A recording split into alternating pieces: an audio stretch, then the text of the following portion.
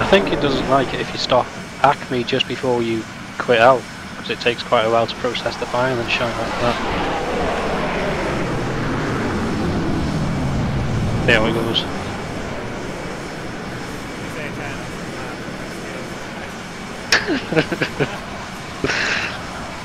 I'm just waiting for him to take the ground off and just start bullering him with his GAU-8.